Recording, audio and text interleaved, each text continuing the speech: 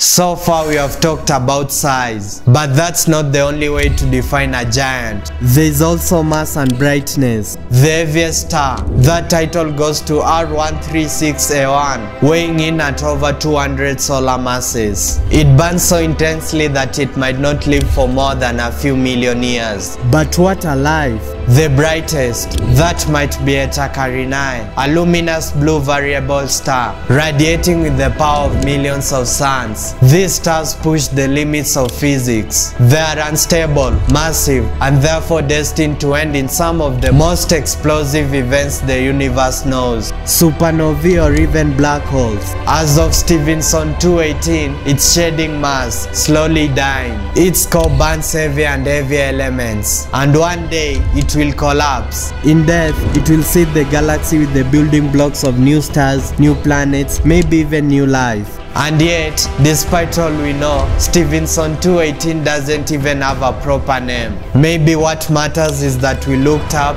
we wondered, and therefore dared to measure the impossible. So if you are this tiny next to a star, and therefore that star is one of billions in one galaxy of trillions, who are we? Maybe, just maybe, we are the universe trying to understand itself. If that moved you, leave a like, share your thoughts down below, and follow for more journeys across space and time. See you among the stars.